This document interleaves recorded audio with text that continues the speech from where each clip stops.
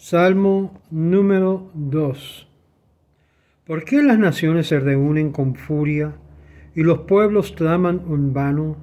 ¿Por qué los reyes de la tierra se alzan y los gobernantes juntos se reúnen en contra del Señor, en contra de su ungido, diciendo, erradiquémonos sus cuerdas y arrojemos de, nuestra, de nosotros sus sogas?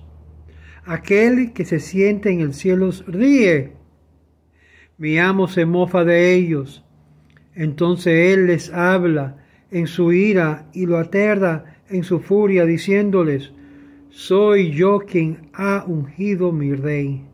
En Sión, en la montaña sagrada, corresponde que yo declare, el Señor me dijo, Tú eres mi hijo, te aprecio como así o yo hoy te he concebido, pide de mí y yo he de hacer de las naciones tu herencia. Tus posesiones han de extenderse hasta los confines más remotos de la tierra.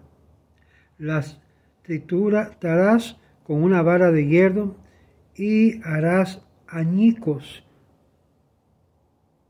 como una vasija de alfarero. Y ahora Reyes, sed sabios, extraer una lección, vos sordos gobernantes de la tierra.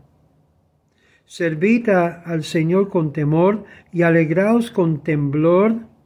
El Señor con temor, alegraos con temblor, apresuraos a purificar vuestros corazones.